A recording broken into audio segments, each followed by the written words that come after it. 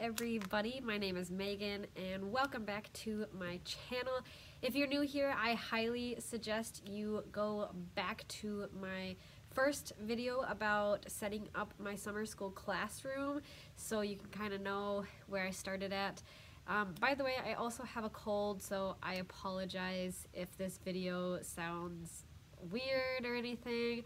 Um, my nose is really plugged and this morning, I just couldn't be bothered to put on a lot of makeup or anything, so it's just one of those days, guys. Like, I got a cold last Thursday, and I had it all weekend, and today I just felt like a zombie, so bear with me as I kind of explain things and all that, and I hope you guys enjoy my video. Okay, so today is Monday, and like I was explaining, it was a really rough weekend with this cold. So I was really, really happy that I prepared all my stuff this morning. I almost didn't come to school because yesterday we were flying home from California and I threw up on the plane like three or four times and I we like didn't even get home until like 10:30 I'm sorry. My nose, so frustrating. And yeah, so it was just really kind of one of those times where I was just like, I really want to sub, but I don't want to take the time to write lesson plans. Plus, I need the money. I don't have another summer job, so I really, really, really need the money, and I couldn't afford to miss today. So I just had to force myself to get out of bed and to do what I needed to do today. And I'm actually really proud of myself because it actually turned out to be a pretty good day. So let me tell you guys what we kind of did and then show you some of the stuff. So first, we just had like a fun morning. I was telling the kids like, you know, I don't feel well. And I like to be honest with them. Like, I don't want to lie to them and be like, oh, I'm having a great day when I'm really not. So you know, and I just want to express to them like you can still be like in a generally good mood if you're not feeling well. So, anyways, there was that, and then we just played some games this morning. It was pretty fun. We played Frogger as our activity, and it was super fun. It's just where like there's a detective and the kids. That was a weird sound. Um, the kids get in a circle or whatever, and then there's someone who sticks their tongue out, and then people have to sit down because the frog like ate them. So that was super fun. And then we did an, a lesson on forest stewardship, which I didn't really get to the definition of stewardship, but we kind of went out on a nature hike and talked about it, this tree and kind of prepped for our final project as well. And then the kids just kind of came in and did their final project. And then we worked on our RAN chart, which I'm going to show you guys right now. It was kind of funny a little bit. Okay, so here's our RAN chart. And there's a couple of uh, like a stack of post-its right here because a lot of them were repeats and I just didn't feel like we needed to confirm like the same thing multiple times. So actually, let me see if I can put myself up here so I can show you guys. Oh my gosh. I'm just trying to set this up so you guys can actually see me instead of always okay so I noticed from my last video that it was just like you guys watching a screen so I thought I could at least show you guys. So here's the stack of post-its and it was just a bunch of ones that were the same. So I tell you hold on here. Okay, sometimes that's the reality of filming. Um, this is my outfit, by the way. I usually don't show my whole self, so this is kind of exciting. Um, I also have my whistle on, so that's kind of fun. But anyway, so you can see this one is pretty bare now. And what I did was basically just take these and I read them off and I asked the kids if that was true or false sometimes, or well, not true or false, but like if that was confirmed, like we had learned about it and talked about it, and we have multiple sources that we can confirm it. And then here are the misconceptions, and you can see we do have, actually we had three in here, but one of them must have fallen down. but anyways, and then I kind of have one in the middle that could be we also need to do a little bit of extra work. So yeah, we just went through that, and it's a really great way to kind of review that knowledge and really go through it and talk about what we learned, talk about what's a misconception, and can we change that into a new learning and things like that. So I really like this RAN chart. It was kind of hard to keep up with it, especially as you got different things that you kind of thought you knew.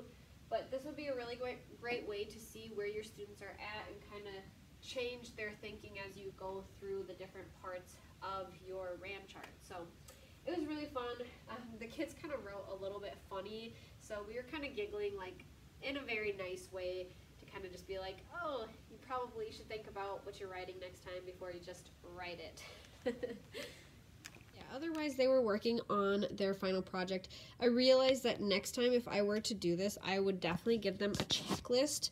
So part of the checklist would be here are my notes, here's my outline or my web, and then here is my rough draft and I would definitely do that for them next time because even though they're going into fifth grade, they don't really know like how to reach all those steps. So I had many that did not do this part, which was kind of frustrating, but kind of my fault as well for not being very, very clear on what they needed. And then in math, we're talking about decimals. So we really just spent most of our math time really understanding them, which I honestly think was really helpful but we didn't get to our math workplaces, which was kind of a bummer. I was explaining them, and then I looked at the time and I was like, we have to go. so we're going to try to take less time at the beginning, and hopefully they'll be able to get to two workplaces instead of just the one. Um, otherwise, I didn't really explain what was going on at the end of last week's video. So on Wednesday, uh, you kind of could see that I went to a conference and they were talking about student voice and using this app slash website called Flipgrid and it was really informational. It was really, really cool and a great way to get your students' voices out and especially like for those students who don't often talk in class or don't really get those opportunities they can have a voice in your class as well. I think it's a really great way to incorporate allowing your students to share their knowledge via their voice and you know or oral um, explanations of the knowledge that they have. Because some students are you know not the greatest at writing or whatever or presenting, but when they're kind of by themselves with a microphone and a camera, they can do a lot of great things. So that was really cool and inspirational to see. I'm not sure exactly how I would incorporate that, especially as like I don't have my own classroom and um, you never know kind of what technology you're going to get, but if you have the opportunity to use those tools, then you can have some really great content come out of your students. Um, and then the other part was on Thursday. We went on a field trip and that was super fun. I showed you guys kind of the kids working on making wildflowers and things like that. And it was just a lot of fun and I really, really love field trips. I feel like some teachers don't like them, um, but I really, really enjoy them. I think they're a great hands-on experience and an awesome use of time. And it was just really fun, and even though my students were being like a little bit disrespectful, I thought they were learning a lot and having a lot of fun at the same time. So I didn't really talk because after that I had to go straight home and pack and leave for California, so I didn't really have time to like explain those things, and then in California I was pretty busy, so I just didn't want to sit down and like film a whole thing about talking about that stuff. So I thought I'd just sit down today and kind of explain that. So yeah, I hope you guys enjoyed that video last week. Um, it's been really fun talking about summer school. I didn't really know what to expect coming into this and I've honestly loved it all the way through so far. The small class size and working one on one with students and getting to know them and teaching them content that I'm really excited and passionate about is super fun. I just love it. And yeah, it's been a great experience. Um, the only thing like reflecting back. All right, hi guys. It's the next day, and um, I didn't really get to finish up yesterday and explain like that I was done talking, but because my um, camera died. But basically, I am feeling a little bit better today, and um, a little bit. My nose is still kind of plugged, but uh, yesterday I wanted to just talk about how um, one of the biggest things about teaching the summer school that I noticed about myself that I wish next time I would change is just making sure to kind of follow the reader's workshop, writer's workshop, math workshop um, framework, I guess, or um, like schedule because we often did a mini lesson, but sometimes I would like forget to do the mini lesson, especially on work days like today. I just wanted to give the kids time to work, and I didn't want to take so much time on other things, I guess. Although I wish I would have and really gone into that kind of stuff. Um, and then the other thing was the share time. I never really got around to that I mean, granted, it was a lot of shorter days, so maybe if I would have had more days to extend things out, I definitely would have. Um, I just wanted to answer a couple of questions. Nothing really changed today. We are doing pretty much the same things that I explained yesterday. So I just wanted to answer a couple of questions. Okay, so the first question that was asked by Nicole Walker, she said, how is the she's it's been a long day. No it hasn't but it's fine. Um, she said how is the job search coming along? Um, the job search is not going as planned. Um, and i'm starting to kind of plan for becoming a sub again so i'm looking for a an after school kind of second job to get a little bit more money so i'm actually meeting with somebody tonight to um, see about a potential babysitting option or job that I could have one or two times a week. I am a little bit worried though if I do get a last minute job, um, kind of what that will mean for doing a babysitting job, but you know, it is what it is.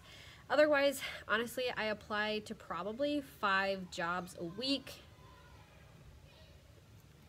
It's so loud in the gym. Oh my gosh.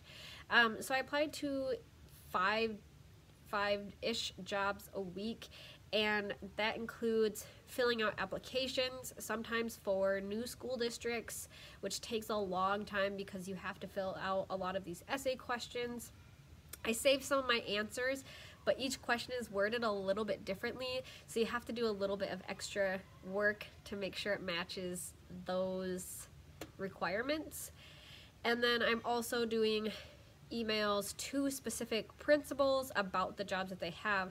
So that means I need to go through my cover letters and make sure they're specific to that position at that school district or whatever at that school and that school district. So those kinds of things take a long time. Um, I kind of slowed down a little bit with summer school right now, but I've been trying my hardest to really stay focused and um, kind of just keep trucking on with that kind of stuff so that possibly I can get a job. But, you know, at the end of the day, it's like, I'm trying, but, you know, we'll have to see kind of how things work out with that. Another question that I thought I'd answer during this short little time is from Kate Ebert and she commented on one of my recent videos and she said have you thought about moving or applying to a title one school or two title one schools in your area so my short answer for that is yes um, my long answer for that is I did a couple field experiences in some Title One schools, and I also went to a Title One school, and I am there are some in my area that I have already applied to. I also live close to the to like Minneapolis and St. Paul, which is like our major cities here. And I did a field experience there and honestly it just wasn't a great fit for me. Um, it could have just been the classes that I was in, but I just didn't feel um, like my skills and knowledge base would be the best for those kind of schools. So I have thought about it. I haven't really applied to those at this time. Um, and I definitely, if something doesn't come up for next year, that is, of course, going to be my next step. But I do, like I explained, um, I think last week, I have 26 school districts and more that are within 50 minutes of where I live. And the reason I use 50 minutes as kind of my boundary is because I the other place I substituted in was 45 minutes away. So I figured like 50 minutes is not that much longer. So I would extend it out to that.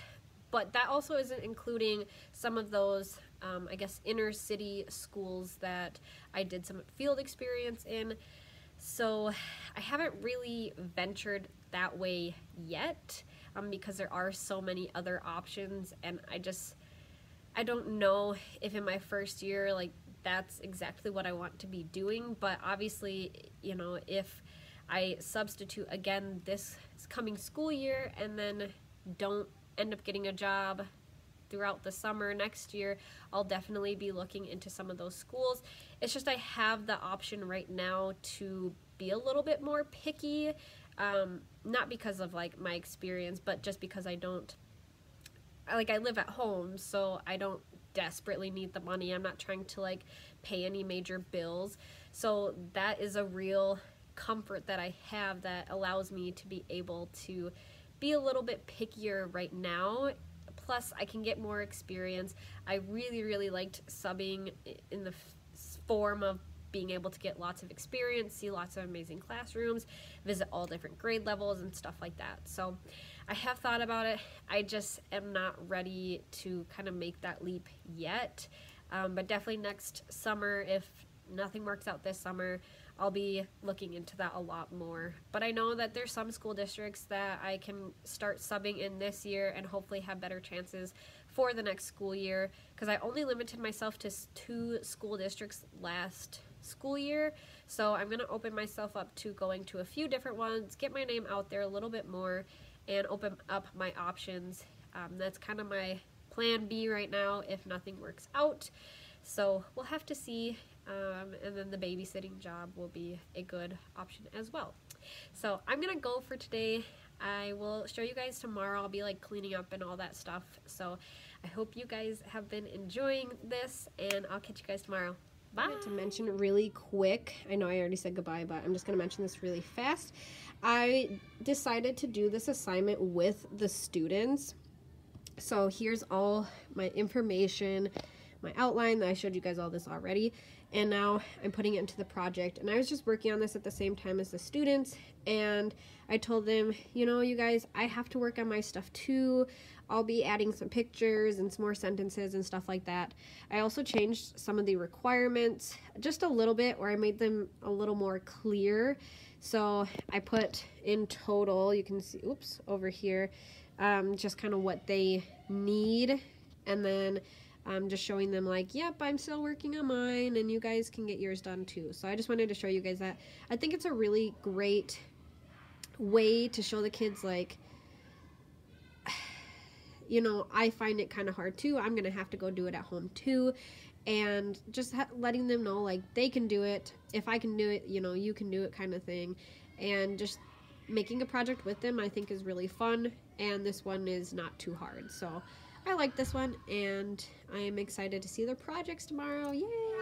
Miss Reily, she's not going to back when I want. No, what's funny? Wait, you guys. That should fit eight.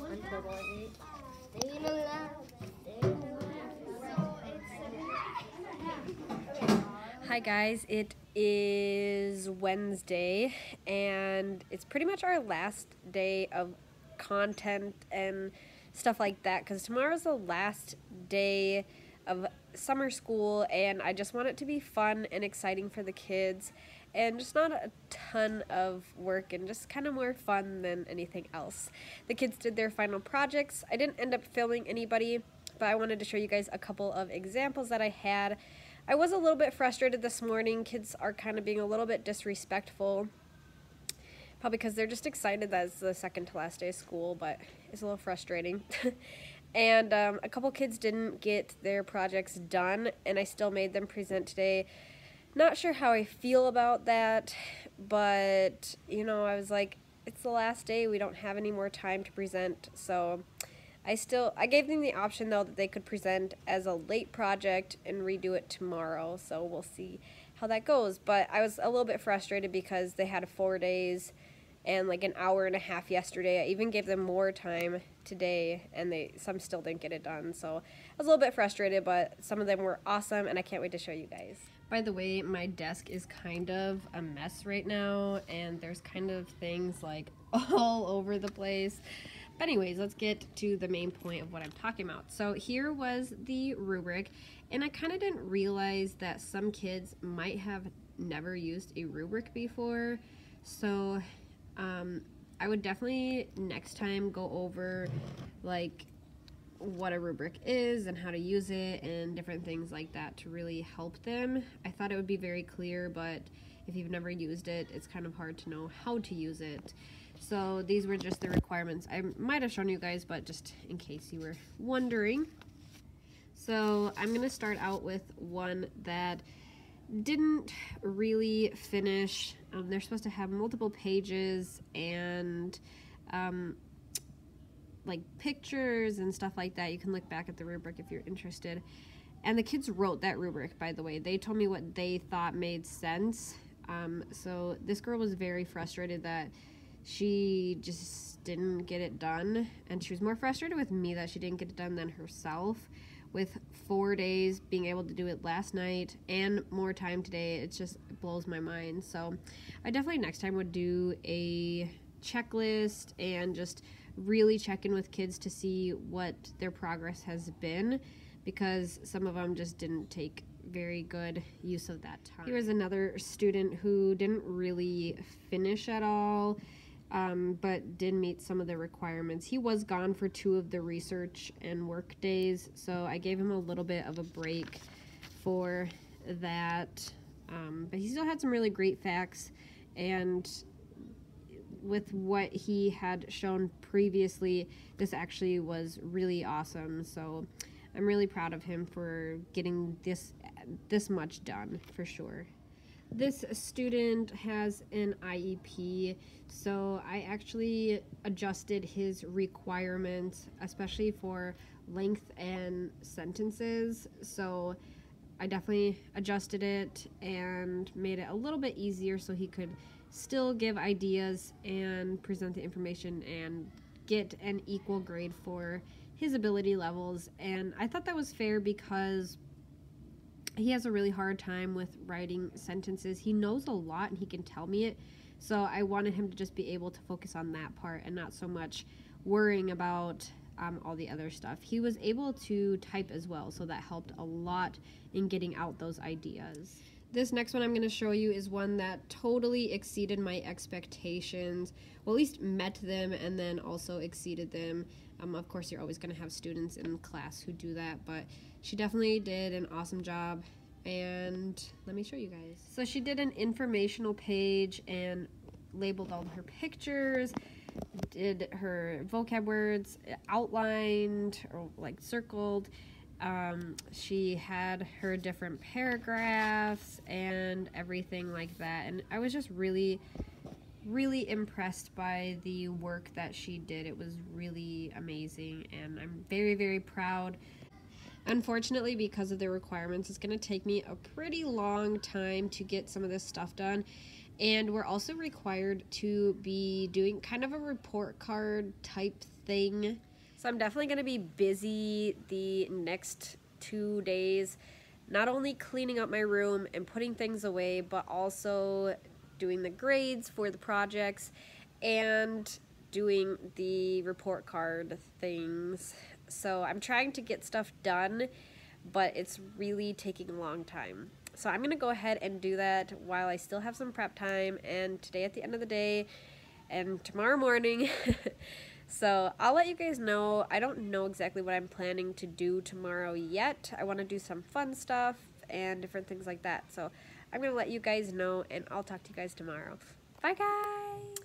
We made it to the last day of summer school, and it's so bittersweet, but I'm excited for the kids. I feel like they learned a lot, and I can't wait to see all the great things that they do in fifth grade. Obviously, I won't see all of them, but um, I'm hopeful that they'll do some awesome things. This was such a great group. Blah, blah, blah, such a great group of kids, and I'm really excited for them in the future. Um, so today is Thursday, our last day. For Readers and Writers Workshop, I did a few different games, and I just wanted it to be a lot of fun and excitement and just enjoying their last day here. And then I also did a Mad Libs, which I will show you guys what that looks like. I basically did a group Mad Libs and showed the kids kind of what it looked like to fill one out in case they hadn't done that before. We talked about what an adjective is, what a noun is, what a plural is, and what a verb is so that they would be able to effectively fill out their own. And then they got in partners and I let them choose their own to fill out. And then they got to read theirs to the class. No idea. I would do, um, no, I would do Boughton. She was my teacher for If we, if I didn't Hi. Angela a mad share, an exchange for the appreciation. Everyone in the kingdom was so happy that they celebrated by eating delicious food. Mr. Me never returned to the kingdom again, and everyone lived, ha- lived happily ever after. The And it was a lot of fun. I'm really glad that we did that and still brought some content and fun into our day. Um, so that was a lot of fun. And then we did another game and we went- went outside early to recess. The Mad Libs took a lot longer than I had anticipated, so um, it was good though. I think it was a really good use of our time. And then for number corner, I gave the kids a choice if they wanted to finish the number corner. We didn't finish it yesterday, and I figured, you know, we got to do a little bit of learning today. So we're going to do that. It's still on the decimals, and um, we're all, we also just did a game. So I'm going to have the kids probably do number corner. Uh, I might give them some time to play the games.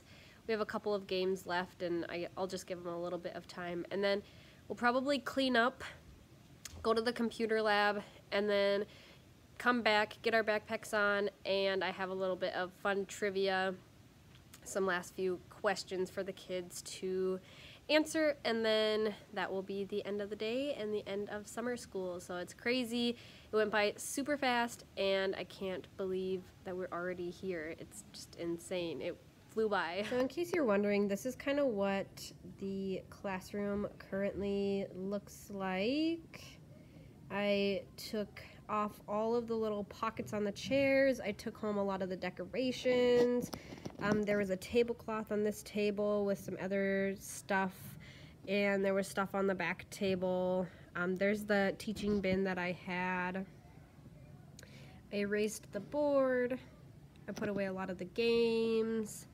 And then this is kind of what our screen looks like, um, or what our boards look like. So nothing super exciting. I've taken I've taken down most of the schedule, and yeah, just a few things left to clean up.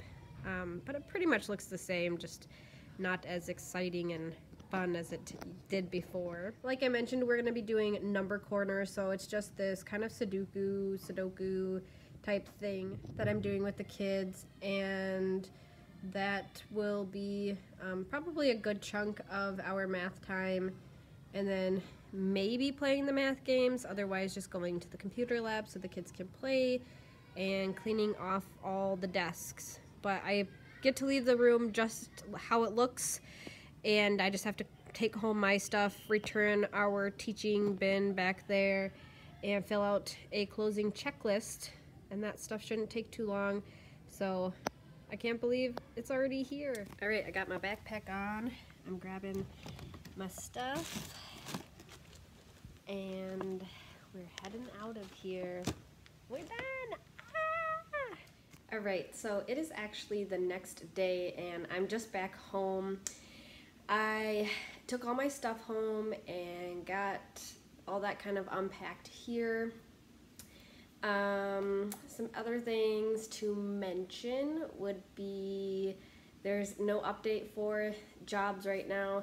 I've kind of slowed down on applying just because I've kind of been a little, um, I don't know, kind of like felt rejected lately, and I haven't gotten any calls for interviews or anything like that. So um, I've just been feeling kind of like defeated a little bit.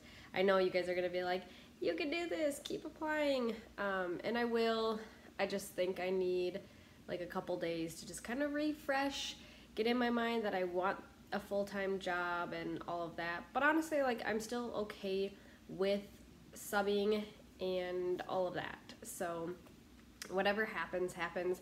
And I think it will be for the best, whether it's another year of learning and growing as a teacher in other people's classrooms or learning and growing in my own. Um, either way, I'll be happy and I'll be able to teach students. So those are my two main goals is being happy and teaching students and I'll be able to do it either way. So I'm very happy about that.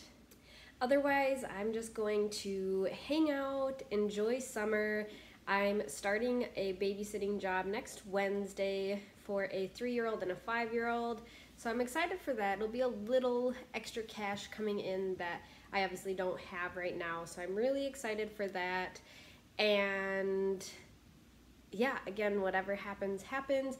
I'm going to just keep trucking, enjoy the rest of my summer. There's about three weeks left. And yeah, that's about it. Um, if you guys have any questions for me, you can definitely put them in the comments below. I plan on making a video answering some of the questions that people have been asking. I know one person in particular was asking a lot of questions kind of just to help them out. So I'll be making a video really soon to answer any questions. So if you have any, please put them below or in any of the videos that you maybe come up with any and I'd love to answer about subbing, teaching, um, life in general. So I hope you guys enjoyed my last week in the classroom as a summer school teacher for fifth grade students and I will catch you guys next time. So thanks for watching and see you next time. Bye!